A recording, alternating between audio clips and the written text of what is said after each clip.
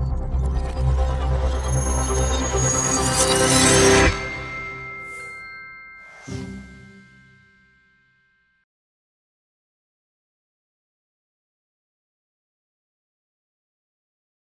Obesity and unhealthy diets are major risk factors for cardiovascular disease and cancer that not only are the two top global killers, but also have a substantial impact on the economy. So far, interventions to make people eat better have generally been unsuccessful. They lead to positive changes in eating habits, but these don't seem to last over time. Why? Surely we all want to be healthier. Last year, I was really committed to lose some weight. My doctor told me to cut off portion size, fat, and sugar. Did I lose weight?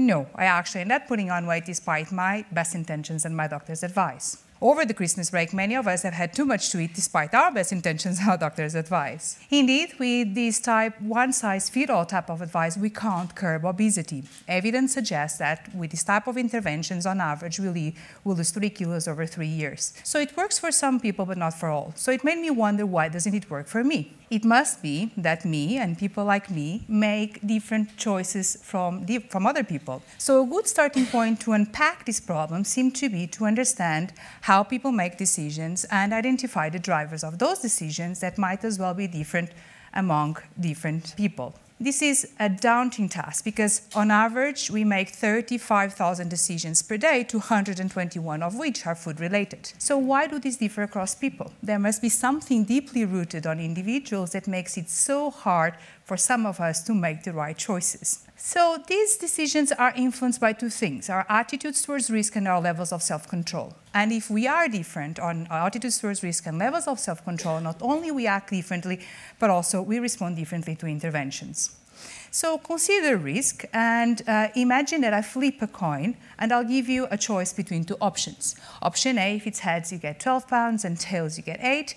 Option B, if it's head, you get 20 pounds and if it's tails, you get 0. On average, these two options give you the exact same return. Yet, if I would run a poll in this room, those that are risk averse would prefer A, and risk lovers would prefer B. So what determines these different choices are your preferences for risk. Imagine now that I give you uh, a choice between a marshmallow in a year's time or a box of marshmallows in a year and a week time. A substantial amount of, of people will prefer a box of marshmallows in a year and a week time. Now imagine that I bring this decision closer to the present by one year, and I ask you, would you rather have one marshmallow now or a box of marshmallows in a week's time? Now, while the rewards are exactly the same as in the previous scenario, those that lack self-control will eat immediately the marshmallow.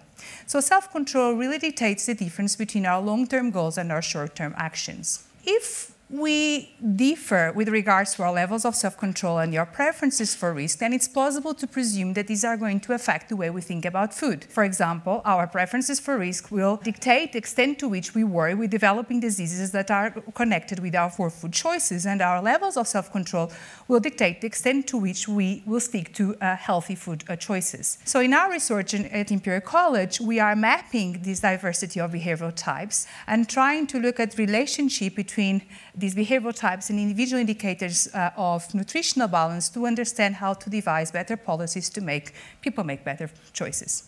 When it comes to risk, we found that risk preferences tend to be robustly associated with food choices for men but not for women.